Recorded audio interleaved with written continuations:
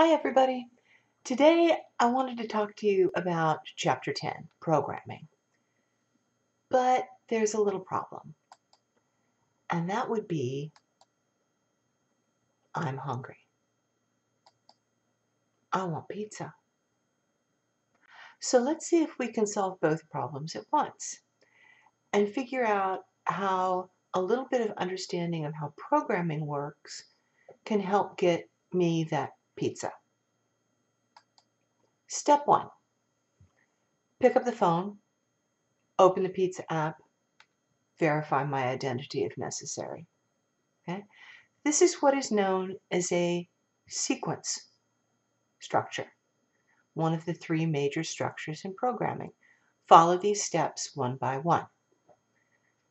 Can't verify my identity before I pick up the phone, so I have to do them in order. Pick up the phone, open the pizza app, verify identity. Step two, ooh, a question. House specialty or custom? This is known as a decision structure. I have to make a choice. Depending on what choice I make, I will move to some other step. Here we see that if I choose house specialty, then I move on to step three. If I choose custom, I would move on to step four. We're going to examine both, of course. Here's step three. Choose my pizza. This is house specialty, remember. Meat lovers, Hawaiian, veggie, barbecue chicken, four cheese. Okay. Once I've made my decision here, I then move to step seven. Now, in this case, I don't move to a different step. I've simply made my choice. So I don't go to a different step if I chose Hawaiian over meat lovers. It's just something has to be decided here before we can move on. So essentially, the decision itself and then moving on to step seven are part of a sequence. Step four. Ooh, now we're looking at the custom. First, I have to choose my crust. Again, this choice is part of a sequence. I can't go on until I make the choice. Thin, thick, deep dish, cauliflower. Ooh, does anybody really like cauliflower? I mean, I know there are some people who eat it because they think it's better for them, but at any rate, once I have choice, chosen, which for me is definitely thin crust, move to step five. Sauce, red, white, just olive oil, none. Move to step six. Yeah, again, choice has to be made before I can move on. Um, let's see, I think I'm in a veggie mood today, which means I'm probably going to go with a white sauce. I do love a white sauce with mushrooms. Ooh, yum. Mm. Here we go, step six. Toppings, all right, yeah. Again, have to make some choices before we can move on. Now, obviously, your average pizza app is going to limit you in your number of toppings uh, and you know then charge you extra if you want more and all of that sort of thing but we're going to ignore that sort of nonsense for now had i gone with a red sauce i would probably be looking at some pepperoni um, or something like that white sauce i could go with anchovies but i think i'm going to stick to veggie today so i'm going to have some mushrooms and artichokes. Ooh, I didn't include fresh onions in there. I should have. I do like some onions there. Uh, but we'll go with mushrooms and artichokes. I think those are excellent on a white sauce. Time to go to step seven, which is where I would be had I chosen one of the specialties and gone directly to step seven. Choose extras. Anything else I want to go with my pizza? Some dipping sauce, maybe marinara or some ranch.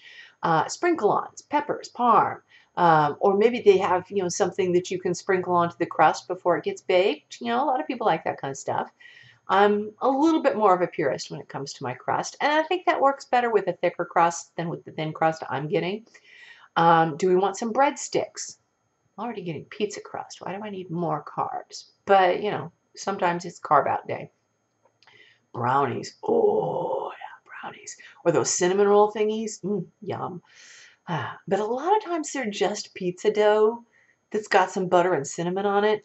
Uh, those aren't as good as a real, you know, cinnamon roll. Anyway, choose. Go to step eight.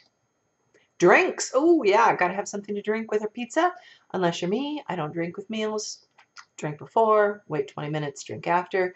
Uh, but, you know, other people like to imbibe while, now we're keeping it strictly non-alcoholic here. Um, individual drinks, sodas, or non-carb, or perhaps, you know, big bottles if you're having enough pizza for a party, you know, similar choices. Once we've made some choices there, go to step nine. Checkout. Enter or confirm your payment info. Enter or confirm your address. Enter or confirm your delivery instructions. Again, this is a sequence. You've got to go through all of these steps before you can move on. Add your driver tip, click the button, go to step 10. Wait for your pizza to arrive. Follow your pizza's progress on the app. Maybe you, you know, have one of those where you can see, oh, hey, the guy's making the pizza now, and oh, hey, the guy's just put it in the oven, or the girl, or whoever, doesn't matter. Uh, you know, pizza person. Uh, eventually, you will, of course, have to text the driver to tell them that they're in the wrong neighborhood. Uh, and then we go to step 11. Come on, step 11. There we go. Whoops. Go back. There we go. Get the pizza from the door. Set the box on the table. Open the box. Take out the little plastic thingy that keeps the lid from touching your pizza. Proceed to the consumption subroutine. Here's the consumption subroutine. Take a slice. Eat the slice. Still hungry? Ooh, question. If yes, is there more pizza? If yes, then, ooh, take a slice, eat the slice. Still hungry? If yes, is there more pizza? If no, then throw out the box. Take a slice, eat the slice, still hungry? If no, is there more pizza? If yes, close the box, put it in the fridge. If no, throw out the box. This is what's known as a looping or an iteration structure, control structure. We ask a question, and depending on what the answer to that question is, we go back or forward in our subroutine and do something again until we make that decision again and we get a different answer. Okay?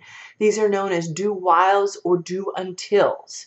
So in this case, we take a slice and we eat until we are no longer hungry or until there is no pizza left. Okay? And then we do something else. Now, we've skipped over a whole lot of details here.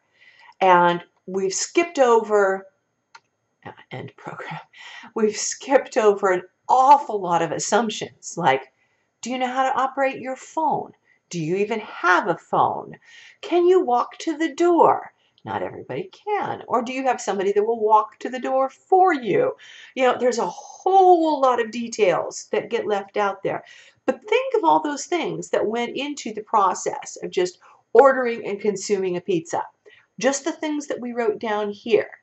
And that's kind of what programming is all about, is taking apart something that we often do without really thinking about it and analyzing each tiny detail and describing it so that the ultimate dumb thing, a computer, can do it by describing in detail every single thing and getting it down to a level that a stupid computer who understands nothing more than signal on and signal off can figure it out and do it. And that's what programming is all about. Now, the chapter itself and your uh, lab exercise, well, online lab exercise in programming will give you a lot more details than I have here. But I wanted you to kind of think about it in terms of something that we all understand. Ordering food. Who doesn't understand that these days? So take that away with you and